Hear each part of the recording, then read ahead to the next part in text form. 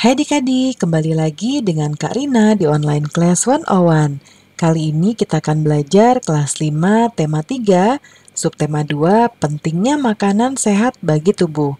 Di pembelajaran 2 ini ada pelajaran bahasa Indonesia, IPA, dan SBDP di halaman 52 sampai dengan 57. Nah, adik-adik, untuk melihat video lain, adik-adik bisa klik di kanan atas seperti ini di video Karina. Nanti akan ada uh, rekomendasi playlistnya ya dan juga pembelajaran di subtema tersebut. Atau kalau mau lihat subtema lain atau tema lain bisa klik di kolom deskripsi. Nanti ada list daftar playlist temanya berdasarkan kelas ya. Misalnya kan adik-adik kelas 5 mau lihat playlist yang ada di kelas 5. Klik biru-biru di sini nanti akan masuk ke daftar playlistnya nih. Ada kelas 5 tema 1 dan seterusnya ya, nanti akan penuh di sini sampai tema terakhir. Ini contohnya adik-adik mau lihat kelas 5 tema 2. Klik putar semua. Nanti akan diputarkan playlistnya mulai dari halaman awal nih adik-adik seperti ini. Lalu halaman 3 sampai 11, halaman halaman berapa nih? Halaman 13 dan seterusnya ya ini sampai halaman terakhir. Jadi dicari aja berdasarkan subtemanya, pembelajarannya dan juga halamannya ya. Kita mulai yuk adik-adik. Ada percakapan ya adik-adik nih. Jadi Udin, Siti, dan Lani sedang berbincang-bincang di depan kelas. Mereka baru saja selesai beraktivitas di luar kelas. Sinar matahari di siang itu sangat terik dan menyengat. Mereka terlihat lelah dan kehausan adik-adik. Kita simak yuk mereka bicara apa ya. Wah, aku sangat lelah. Udara pagi ini juga sangat panas. Aku haus sekali. Benar sekali Lani, bagaimana jika kita ber, e, beli minum limun dingin yang dijual di depan sekolah kita? Aku baru lihat bapak-bapak yang menjual limun tadi Hati-hati Udin, jangan jajan sembarangan. Dengan cuaca yang tidak menentu seperti sekarang, makanan mudah sekali tercemar dengan bakteri-bakteri jahat. Benar benar juga kamu Siti. Kemarin tetanggaku dirawat di rumah sakit karena terserang diare berat. Ia bilang perutnya melilit tidak lama setelah ia memakan jajanan di pinggir jalan. Kenapa hal tersebut bisa terjadi ya? Nah, adik-adik diskusikan dengan teman ya e, tentang diare, bagaimana diare bisa terjadi. Nah, di sebelah kanan sudah ada jawabannya. Penyakit diare pada umumnya terjadi akibat mengonsumsi atau mengkonsumsi makanan atau minuman yang terkontaminasi adik-adik. Nah, penyebabnya bisa juga karena alergi makanan, infeksi virus, penyakit usus, dan juga gangguan usus fungsional atau stres, ya. Nah, lalu adik-adik uh, kemudian diare ditandai dengan uh, feses atau tinja yang dikeluarkan atau buang air besarnya frekuensinya lebih sering dibandingkan biasanya. Misalnya biasanya kan kita paling enggak uh, sehari sekali ya. Nah kalau ini bisa uh, minimal tuh tiga hari sekali bahkan lebih ya. Nah pada umumnya diare terjadi akibat mengonsumsi makanan ada atau minuman yang terkontaminasi adik-adik. Nah, faktor penyebab diare secara umum yaitu diare terjadi ketika makanan dan cairan yang dimakan bisa uh, apa berlalu terlalu cepat. Jadi terlalu cepat kita makan ya. Jadi terlalu besar jumlahnya pada saluran pencernaan atau usus. Secara normal, usus besar akan menyerap cairan dari makanan yang kamu makan dan meninggalkan kotoran atau tinja yang setengah padat. Akan tetapi, ketika cairan dari makanan yang kamu makan tidak terserap, maka hasilnya adalah kotoran yang cair atau encer. Nah, penyakit ini mungkin berhubungan dengan infeksi virus atau bakteri. Penyakit tersebut juga dapat terjadi akibat keracunan makanan adik-adik. Ya. Nah, secara umum penyebabnya adalah kalau virus itu rotavirus. Ya, ini adalah penyebab diare yang uh, pada anak akut ya yang paling sering. Nah, infeksi bakteri dari parasit. Nah, ini termasuk melalui makanan dan minuman yang terkontaminasi. Intoleransi makanan, jadi beberapa orang itu ada yang nggak bisa uh, makan yang ada gulanya atau susunya ya, gula pada susu, sehingga diare akan terjadi ketika dia minum susu. Lalu alergi makanan, nah ini biasanya reaksi negatif terhadap obat-obatan. Nah, banyak obat yang dapat menyebabkan diare, biasanya alergi terhadap antibiotik Sementara antibiotik sebenarnya membantu membunuh bakteri baik dan jahat ya, uh, yang dapat mengganggu keseimbangan bakteri baik dari umu, uh, dari dalam usus. Lalu kalau penyakit usus biasanya diare kronis yang banyak penyebabnya dan juga gangguan usus fungsional atau stres. Nah, adik-adik, uh, kemudian di antara teman-teman adik-adik pernah ada yang kena diare nggak? Nah, coba tanya gejalanya apa aja.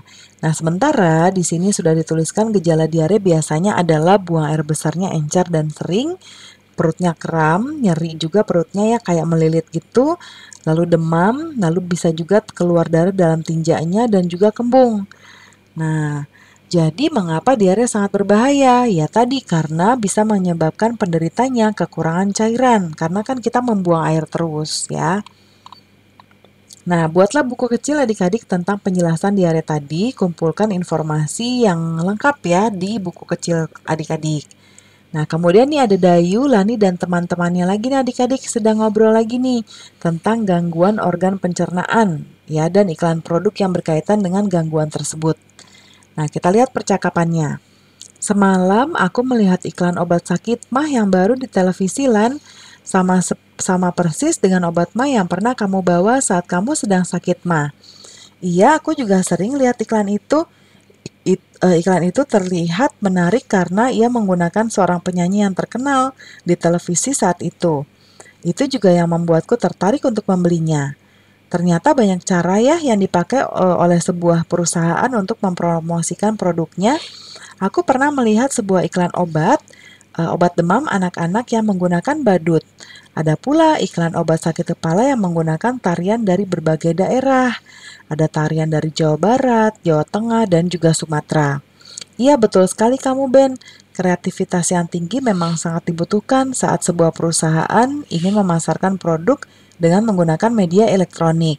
Hal ini agar para penontonnya tertarik dan mau mencoba produknya ya. Nah, adik-adik sekalipun iklan pada umumnya berbeda-beda ya, tapi ada satu kesamaan nih dalam bahasa iklan yang digunakan. Ya, setiap bahasa iklan memiliki ciri yang sama. Ya. Nah, apa sih ciri-cirinya? Nah, nanti bentuk e, sebuah kelompok ya, tuliskan dalam kolom kolom berikut ini di kalimat iklannya. Nah, ini ada contoh Kak Rina nih, ya. Nih, nama iklannya, lalu kalimat iklannya, lalu ciri-ciri bahasanya. Ya, nih. Ya, ini kita diminta untuk membuat contohnya. Nah, jadi nanti kita diminta untuk kalimatnya apa yang adik-adik ingat ya di iklan itu. Nih, yang pertama iklan Sprite adik-adik. Nah, Sprite itu e, kalau kita ini pasti dia ngomongnya gini, Sprite nyatanya nyegerin, kayak gitu ya. Nah, ciri-ciri bahasa iklan ini adalah informatif, efektif, dan juga komunikatif ya. Nah, tulisannya agak kecil ya adik-adik ya, didengarkan aja Karina ngomong apa. Lalu yang Ciptaden, nah ayo jaga kesehatan gigi dengan Ciptaden. Yang ini persuasif ya, ada ayonya. Membujuk juga komunikatif, informatif, dan efektif. Kalau Yakult pasti adik-adik juga tahu nih, karena dia pakai lagu ya, cintai ususmu, minum Yakult tiap hari, ya kan? Nah, dia juga ada anak kecil, ada kakek-kakek, ibu-ibu yang lagi hamil juga ya. Nah, ini ini persuasif, e, membujuk, komunikatif, informatif dan efektif. Lalu ada juga nih iklan OLX ya, olx.co.id cara tepat jual tepat ya. Dia efektif, informatif, dan komunikatif. Alfamart, belanja puas, harga pas ya. Nah ini menggugah ya, Kak. Loh ya belanjanya puas nih gitu ya. Nah ini efektif dan komunikatif juga. Adik-adik boleh tambahkan kalau ada yang ingat juga ya iklan apa, terus kayak uh, slogannya apa sih yang adik-adik dengar, lalu ciri-cirinya apa tuh gitu ya. Nah berikutnya Berdasarkan hasil diskusi kelompokmu, buat kesimpulan tentang ciri-ciri bahasa iklan. Nah, ciri-cirinya yaitu jelas ya adik-adik, terus singkat, mudah dipahami, menarik, dan mengajak orang pastinya. ya. Nah, sekarang kita masuk ke tari-tarian nih adik-adik. Ya, adik-adik, eh, tahukah ada ya apa yang menarik dari tarian daerah? Nah, karena ada banyak sekali tarian daerah di Indonesia. Ya, jadi Indonesia tuh ragam beragam banget budayanya adik-adik. Ya, e, bisa dilihat dari tarian daerah yang kita punya. Nah, gerakan-gerakan tarian daerah ini bisa sama tapi bisa juga beda ya. Apalagi musiknya ya beda-beda juga karena biasanya juga dicirikan oleh alat musik yang dipakai untuk pengiringnya ya. Nah, makna yang dikandung juga beda-beda. Ada tari gantar dari Kalimantan, dia menggambarkan gerakan orang yang lagi menanam padi ya. Mereka pakai properti tongkat yang menggambarkan kayu penumbuk, sedangkan bambu dan biji-bijian di dalam wadah penumbuk menggambarkan benih padi dan wadahnya. Nah, kalau di Kalimantan juga ada nih tarian perang namanya. Nah, dia dikenal dengan nama tari kacet papatai, ya, menggunakan propertinya. Properti itu alat ya, alat yang digunakan. Ya, mandau, perisai, dan baju perang. Nah, properti dalam sebuah tarian daerah memegang peranan yang amat penting. Properti tari merupakan bagian dari perlengkapan tari yang dipergunakan untuk meningkatkan estetika atau keindahan sebuah tarian adik-adik ya supaya memperdalam maknanya ya. Nah, sekarang adik-adik dalam berkelompok coba cari tahu tentang properti yang ada di bawah sini nih ya. Nih ada eh, yang pertama ada tari reok ya asalnya dari Ponorogo. Propertinya atau alat yang digunakan adalah topeng reok. Nah, sekarang kita akan eh, isi yang lain ya. Nah, lalu tari jaipong nih yang kedua. Ya, Karina ke balik ya. Nanti disesuaikan aja ya pokoknya adik-adik ya. Nah, ini atau Karina tulisin deh buat adik-adik di sini deh, tari kuda lumping dari jauh Jatim tuh Jawa Timur. Alatnya adalah anyaman kuda. Ya.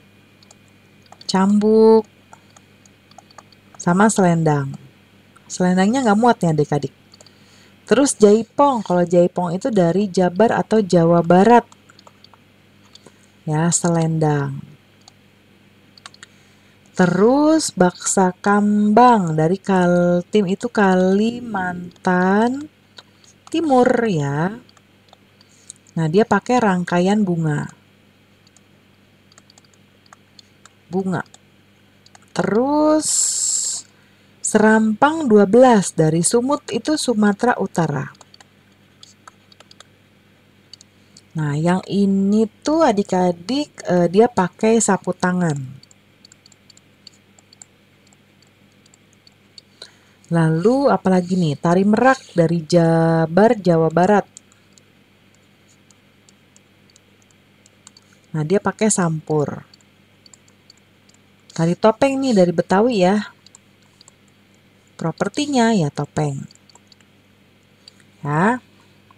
Nah. Wah, pembelajarannya sudah selesai nih adik-adik. Terima kasih sudah menonton sampai akhir. Mohon dimaafkan apabila ada kesalahan dalam perkataan maupun dalam materi yang diberikan. Sampai jumpa di pembelajaran berikutnya ya. Dadah.